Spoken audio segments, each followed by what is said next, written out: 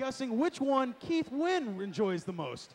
So what we're gonna do is we're gonna give you four choices up on the video board, and you just have to guess which one he enjoys the most.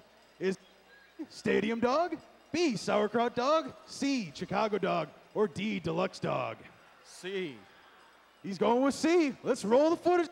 Keith has it. Hey there, my name's Keith Wynn. My favorite Wienerschnitzel is a stadium dog. Ah. Mmm. I'm sorry to say that you didn't win, but because you gave a good effort, we're going to give everybody in section 102 free Wienerschnitzel hot dogs.